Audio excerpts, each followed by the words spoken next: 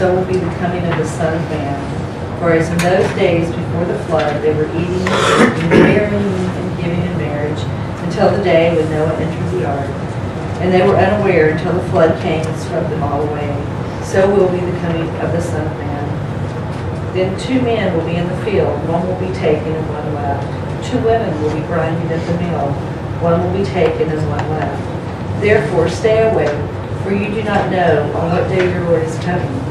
But know this, that if the master of the house had known in what part of the night the thief was coming, he would have stayed awake and would not have left his house be broken into. Therefore, you also must be ready, for the Son of Man is coming at an hour you do not expect. The word of our Lord. Thanks be to God. Let's pray. Lord, as we spend time in your word now, we ask that you would send your Holy Spirit to be present with us. We pray that wherever we may find ourselves on our spiritual journeys today, you would reveal to us the timeless truths that are contained within these scriptures we just heard.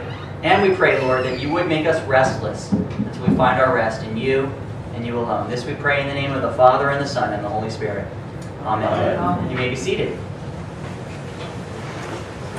The word Advent comes from Latin. You're going to get a little linguistic lesson here. For Adventus, which basically means coming or arrival. And it's during the first four weeks of the Christian calendar that people of all walks, sizes, and shapes and backgrounds gather together to pause and reflect upon the arrival of God into the world in the person of Jesus Christ. But Advent also presents us with an interesting opportunity, and that is to reflect upon the great future day when Jesus promises to come once again and return and make everything right in the world. And that is what today's scripture would have us do. Personally, I found it a little bit surprising that during the Christmas or, the Advent season, as we're looking forward to Christmas, we would find a scripture that deals with kind of the end times and, and the last days. It doesn't have any of the traditional Christmas elements present that we know and love. Instead, today's scripture reading places us in the middle of a discussion about the end times, the last days, and the need for God's people to be ready. And as I reflected upon it, I realized that this is a brilliant way for us to enter into the Advent season. What better way is there to place ourselves in a situation where we anticipate the future coming of Christ than to do that in a manner that all of us can relate to today? What we find in today's story is an implicit sense of longing, a heartfelt yearning, if you will, for someone or something to come and make everything right in the world. That kind of longing, that kind of anticipation is what Advent is all about. However, we live in, in, in, a very great part of the history of the universe because we know that Jesus Christ has already come and entered into the world. We know that the one who is going to make everything right in the world eventually has already started that process through his life, death, and resurrection. At the same time, we get to look forward to a future day when that work that he started will one day be completed. And we know that 2,000 years ago that process began. But prior to Jesus Christ, the Jewish prophets of old looked forward to this day when the Messiah would come and make things right in the world. We have a great song that our musicians are going to play for you in a moment. It's called Hallelujah, and it helps us to grasp the kind of anxiety and angst that I think the Old Testament prophets felt and experienced. In fact, I think the whole world experienced this in the world prior to the advent of Jesus Christ. This song was written by Leonard Cohen back in 1984, and I was surprised to find out that it has become one of the most recorded songs of, of all time. There are over 300 professional recordings that have been made of this song and released commercially. It's, it's amazing. You've heard it in commercials, you've seen it in movies and films. It's, it's a great song. Cohen himself is a brilliant songwriter. He frequently includes themes of sin and redemption in his songs. He does this as a, a Jewish person who doesn't see Jesus Christ as the ultimate fulfillment of God's redemptive plan and process. So when you listen to this song, it's really easy to identify with, with the desire that Cohen has to, to see something better in the world, his portrait that everything right now is not as it should be. But at the same time, you can identify with the prophets of old in his songs because they're looking forward to this day when God would come and make things right, but they don't realize that that has happened already in the person of Jesus Christ. So I think what the song does is portrays a great sense of Advent, great sense of longing, of anticipation, a longing that cries out for everything to be made well in the world. A longing that wants to worship God but has a hard time doing it because as you try and worship God, the hallelujahs that come out of your mouth seem cold and broken. So with that as an introduction to kind of really put a, a, human face on this, let's listen to the musicians performing their version of the song now. And as they do that, let's see if we can find hope for our cold and broken hallelujahs.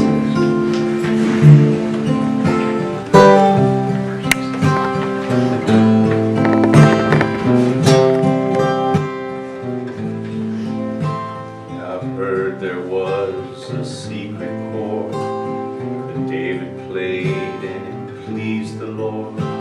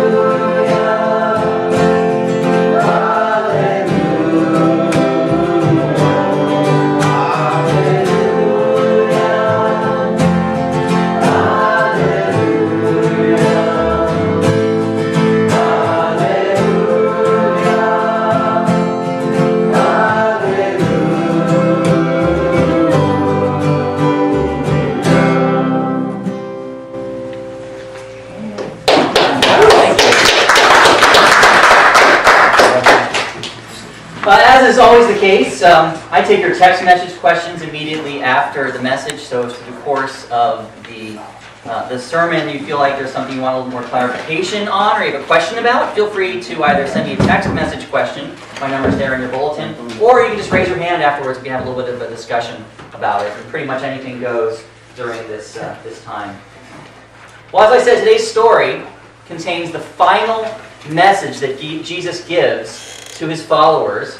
This is uh, an interesting place for it during the season of Advent. It's the final message he gives before his arrest, his crucifixion, and his ultimate uh, resurrection and victory. It's recorded in both Matthew and Mark's Gospels. And in this particular passage, Jesus uses what we call apocalyptic language to describe this great future day when he will return and make everything right in the world. The word apocalyptic just means an unveiling or a revealing or a revelation. That's uh, all that the word means. It usually symbolically paints a picture of highly emotional contexts that help to review, reveal what a future reality would look like in, in a poetic kind of manner. That's very typical for apocalyptic literature and language. And as such, it can often be very confusing, especially for people who aren't used to reading apocalyptic literature. People like us, for example, it's not something that we you know, read every single day or every, every hour. God bless you.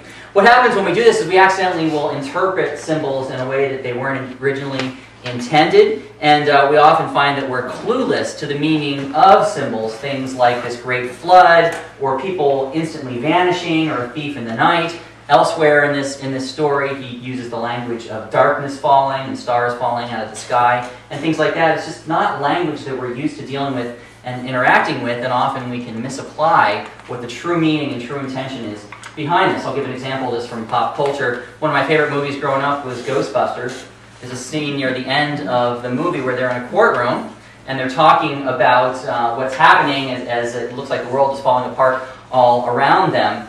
And uh, Bill Murray's character in the film tells the mayor that if they don't do something fast, they're about to experience um, a, a, vast catastrophe of biblical proportions. That's the phrase that he uses. And the mayor says, Well, what do you mean, biblical?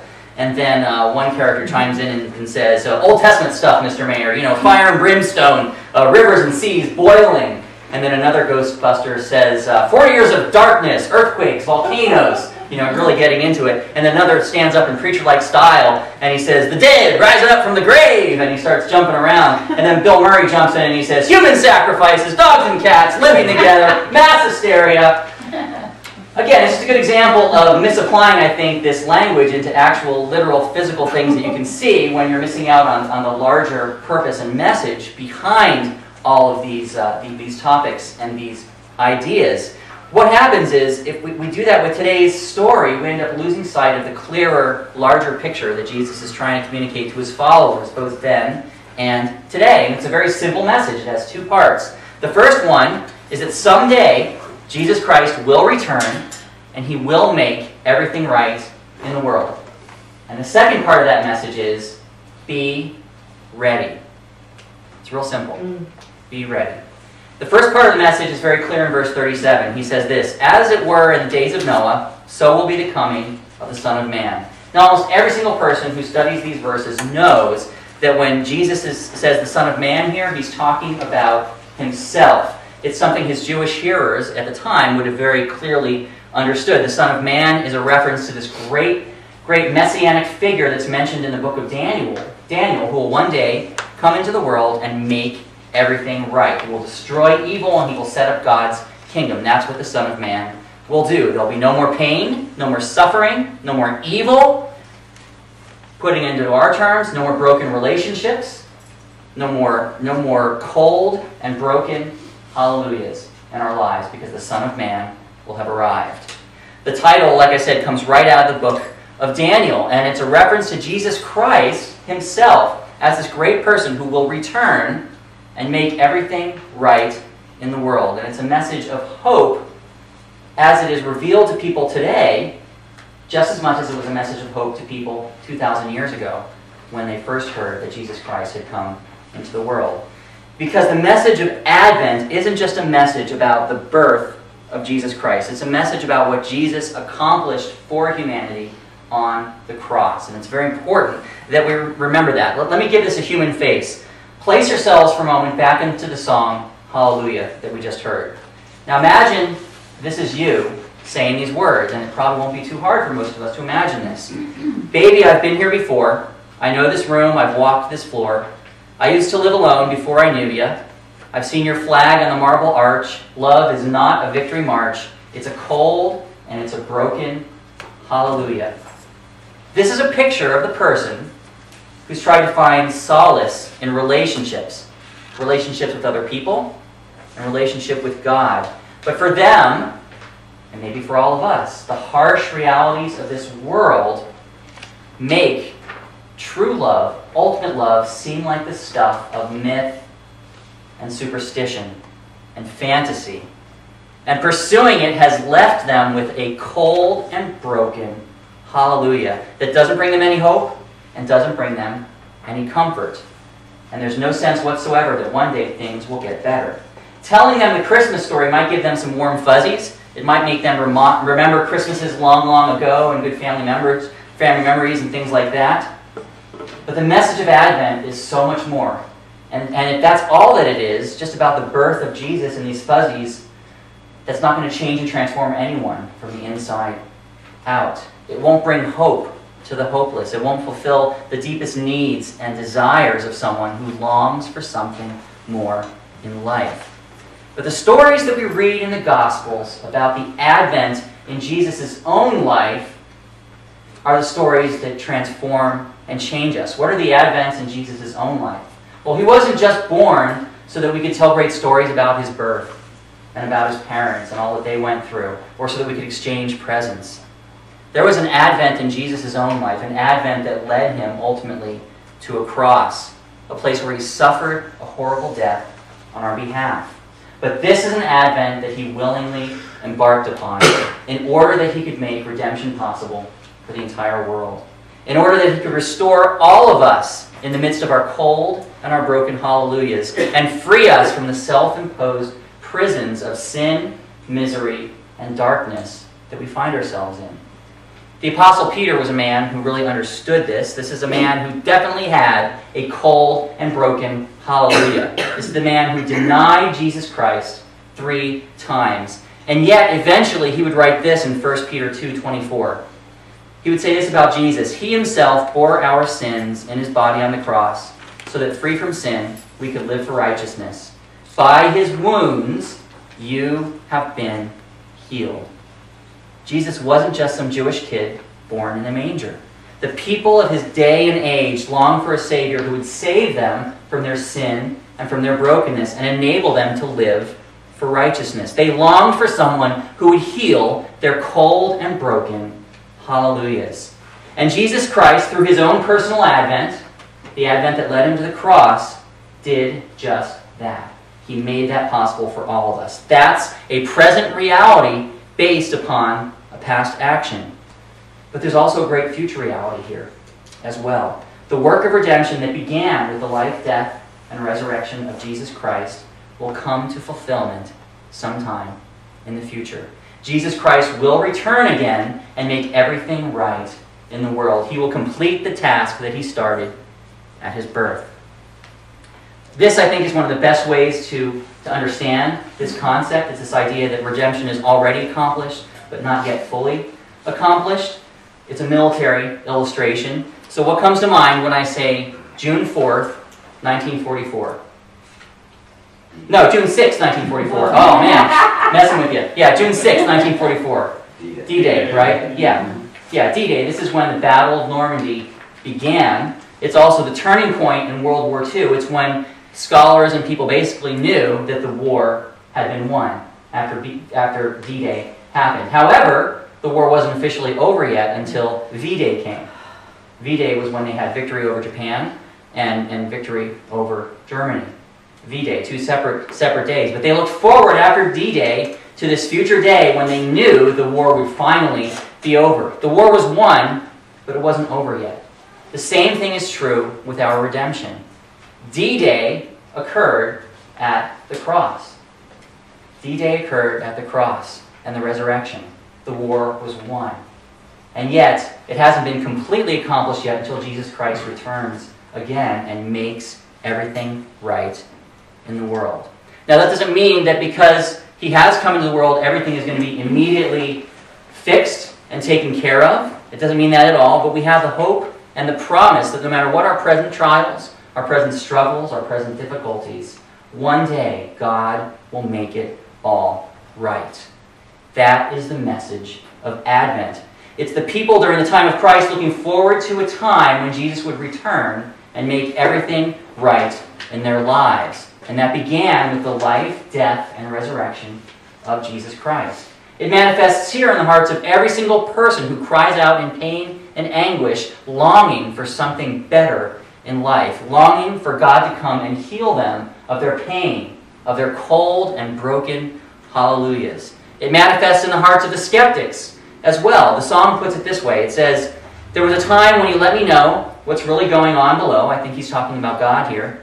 But now you never show it to me, do you? And remember when I moved in you, the holy dove was moving too, and every breath we drew was hallelujah.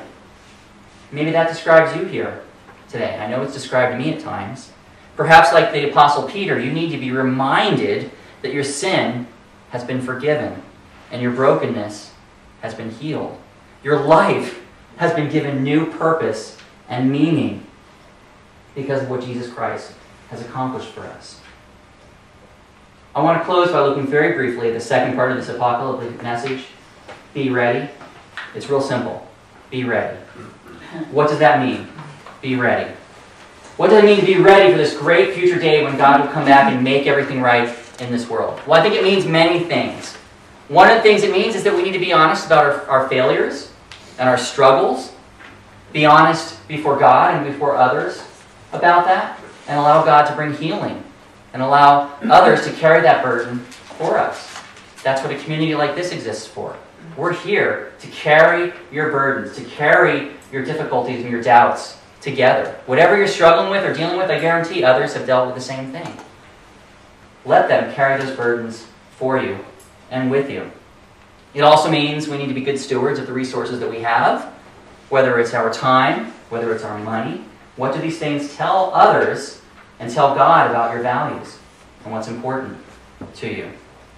Also, I think part of being ready means actively participating in what God will someday accomplish to fulfillment in the future. That means going out and feeding the homeless, taking care of the poor and the needy in our communities. This is where we see the face of Jesus. This is where we get to experience Him. And I think that's because it's a little sliver of what He will ultimately come back and bring to completion and to fulfillment. And finally, being ready, I think, being involved, means being involved in a community like this where we regularly get to come to the Lord's table together and partake of these elements together, where Jesus somehow mysteriously is present. We get to have a little sliver, a little slice of this ultimate great feast that we'll be able to experience together for all eternity. We could probably go on and thinking of other ways to be ready as well, but that's probably good enough for this morning. My prayer is that we can continually cultivate and develop a community right here where we can be ready for God's future return. And that can be manifested in our midst by making sure we're caring for the needs of others here and also in the community at large throughout Roseville and the greater Sacramento area. And as we do that, my prayer is that other people will be drawn to Him as they see Him manifested right here in our midst. It's not because of anything great in and of ourselves, but it's because of the greatness of the one who we serve and worship. Thanks be to God. Let's pray. Lord, thank you for Advent, for your life, death, and resurrection. I pray now that you would send your Spirit to empower us to live lives that we were meant to live. And during this Advent season, transform our cold and broken hallelujahs and make us the people in the community that you want us to be. This we pray in the name of God, the Father, and the Son, and the Holy Spirit. Amen. Amen. All right, let's see if we have any questions here.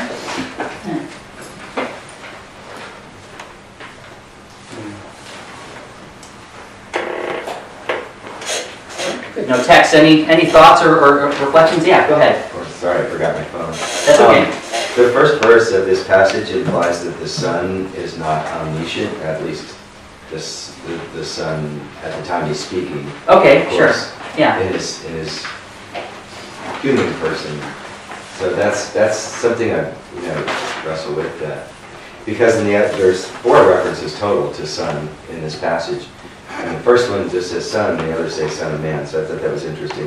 The first one seems to be present time, is that- is that accurate? I think And so, the other yeah. three are afterwards when he is fully uh, his, his glory, glorified body. So what he's- Returning to earth. What, what he's basically saying is that first verse where Jesus is saying, even the Son of Man doesn't know when this future great day is going to be. If Jesus is God and God knows everything, then how do you make sense of that? Because here God is very clearly, Jesus as God is saying, I don't know when this future day is going to be. It's a great question. It's a question that's challenged a lot of people throughout the ages. Um, in the early church, they resolved it in a very simple manner, and it's, it's the manner that I think I hold to as well, and that's that Christ, as a person, had two different natures. He had one nature that was human, like us, and he had another nature that was divine, that was God.